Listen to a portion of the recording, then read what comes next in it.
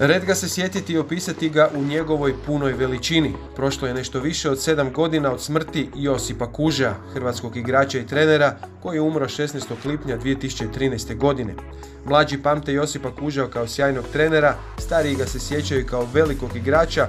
Kuže je naime za Dinamo u devet sezona od 1971. do 80. odigrao 384 utakmice.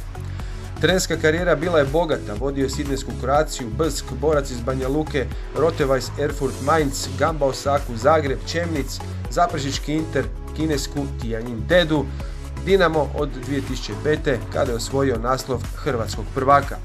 Bio je izbornik Ruande, potom je preuzeo Albaniju koju je vodio dvije godine.